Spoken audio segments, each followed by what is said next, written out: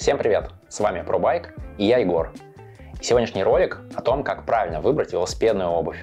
Но прежде чем разобраться с выбором конкретной модели, давайте уточним, зачем вообще нужна специальная велосипедная обувь. И под велосипедной, в первую очередь, я подразумеваю обувь с отверстиями под установку шипов для встегивания в контактные педали. Все просто.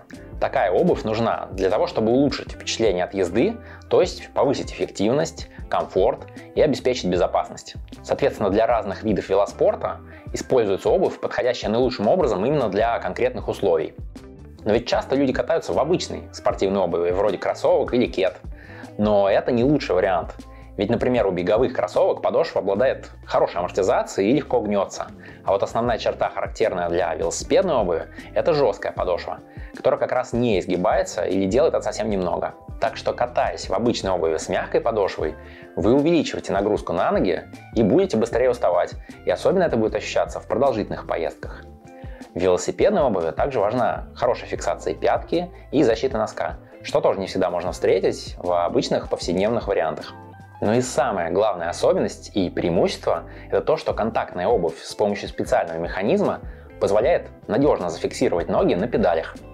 Благодаря этому легче освоить технику правильного кругового педалирования. То есть, когда вы не просто давите на педали, как в обычной обуви, но еще и подтягиваете педали вверх. Так обе ноги помогают друг другу и работают разные группы мышц. Мощность равномернее распределяется по всему обороту педали и снижается нагрузка на колени. То есть с такой техникой педалирования в контактной велосипедной обуви на специальных контактных педалях вы крутите эффективней, меньше устаете и лучше контролируете велосипед. И вот теперь, зная про все эти характерные особенности и понимая пользу от специальной велосипедной обуви, уже можно поговорить про то, как выбрать пару, подходящую именно вам. Начнем с назначения. Где вы планируете ездить и как? Так как вся обувь делится на спортивную и туристическую. Спортивная бывает как для шоссейных, асфальтовых дисциплин, так и для горных и отличается жесткостью, легкостью, технологичностью и более высокой ценой. А вот туристическая в большей степени нацелена на комфорт, продолжительное катание и путешествия. Бывают даже сандали с креплением шипов, ну и само собой есть специальная утепленная зимняя обувь. Нет-нет, не вот эти валенки, а вот такие технологичные ботинки от Шамана с мембраной Gore-Tex. Так как мы говорим именно про контактную велообувь, важно рассказать и про шипы, с помощью которых происходит, собственно, фиксация на педалях. Шипы прикручиваются к подошве с помощью болтов. Для шоссейных туфлей используется трехболтовый стандарт крепления, а для МТБ – двухболтовый. Но какая разница, если у вас нет велосипеда, который можно купить на самых выгодных условиях, если вы, конечно, подписаны на наш канал на YouTube. Так что в описании под роликом есть ссылка со всеми условиями этого уникального предложения. Но мы говорили про шипы. Сами шипы отличаются по форме и размеру. Трехболтовые шоссейные – это большие пластиковые шипы, которые сильно выступают на подошве, а двухболтовые горные – это маленькие металлические, которые спрятаны в углублении подошвы. Почему же мы вообще говорим про шипы? Ведь это то, что идет в комплекте с педалями. Дело в том, что это определяющая характеристика – так, горный стандарт крепления позволяет легко совмещать катание на велосипеде и хождение пешком в этой же самой обуви. Ведь шипы утоплены в подошву и совсем не мешают ходьбе. Поэтому универсальные варианты велосипедной обуви, например, для комьютинга или путешествий, используют именно такой стандарт. Бывают даже ботинки с отверстиями как под 3, так и под 2 болта, но с ними есть сложность. Шоссейные шипы, они широкие и с резинками, так что не скользят.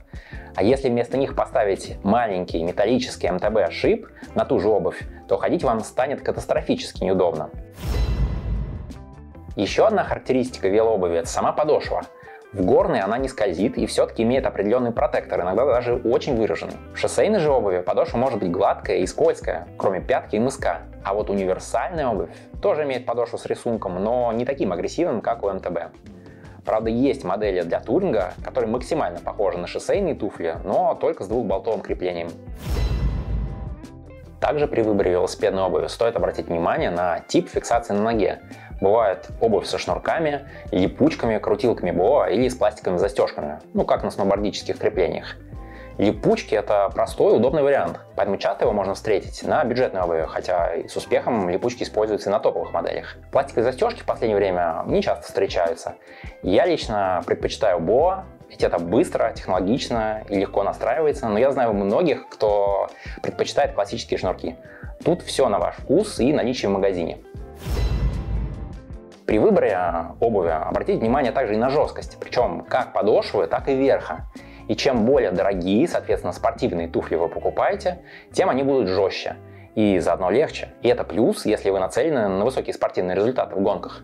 Но вот если вам нужна универсальная пара или вы только начинаете осваивать велосипед, лучше, конечно, выбрать что-то небольшое или средней жесткости. И также шоссейная обувь по сравнению с горной будет тоже чуть жестче для лучшей передачи усилия.